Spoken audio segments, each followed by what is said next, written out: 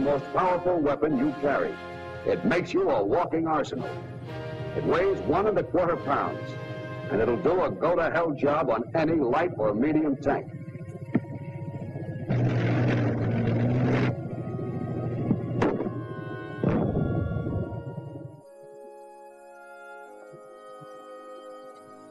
Doesn't look like much, does it? But don't kid yourself. The steel that came from that hole was shattered into fragments that whizzed inside the tank like a gang of hornets. You can put that kind of a hole in a tank from 75 yards. But remember, whenever you can, hold your fire. Wait till the tank is smack up on you. Now, give it to him.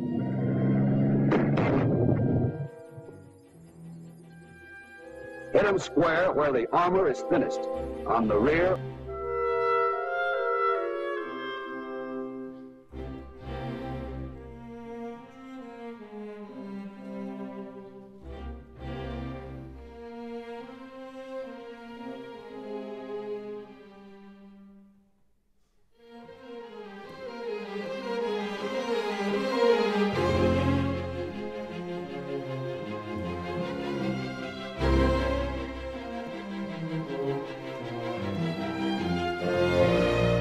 weapon because they didn't know what hit them.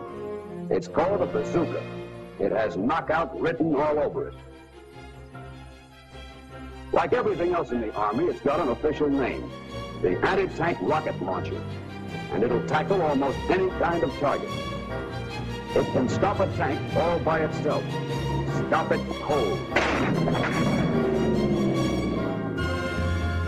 Dish, a light or medium tank. It'll knock a hole through the sides of the tank all day, from any range up to 200 yards.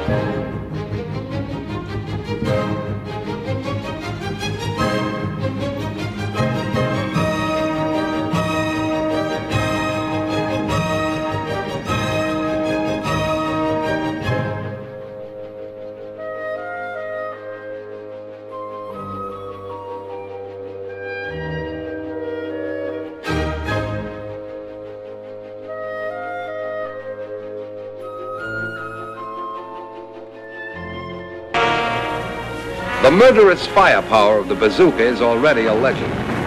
But in Nettunia, Italy, thinking men increased firepower by using four bazookas mounted and tied to a German shell case. Then they rigged the complete affair to a machine gun mount set on a jeep. The result is a small-sized artillery attack, bazooka quadruplets, four-way murder with a purpose.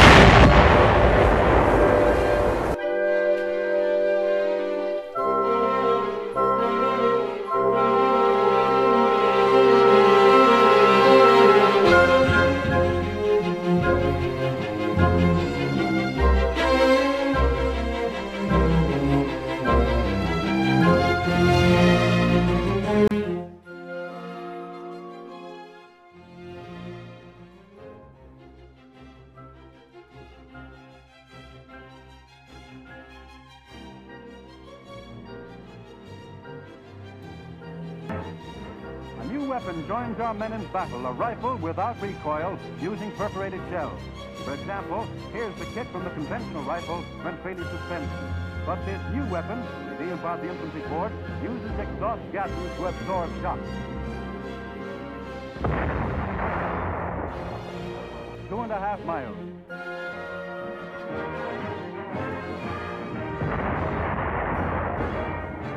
Watch the recoil on the old 75. our infantry capture wallets never dreamed of before.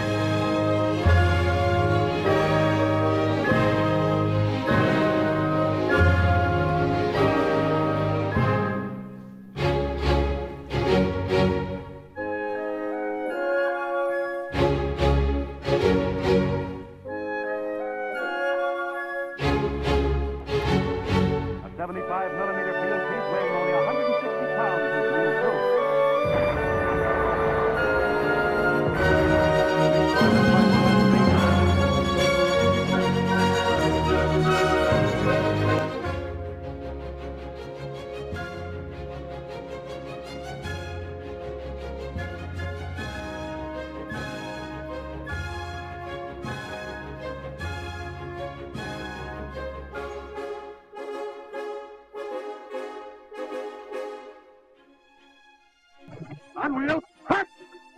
It has a high rate of fire, 30 shots a minute. That means a steady stream of hot steel.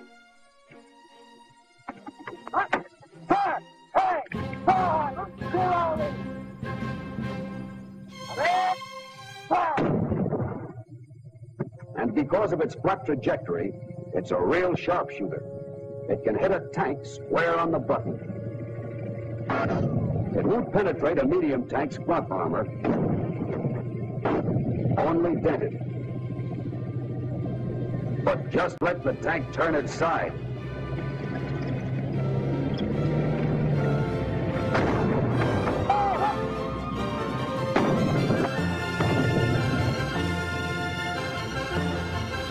The 37 doesn't kid against the side.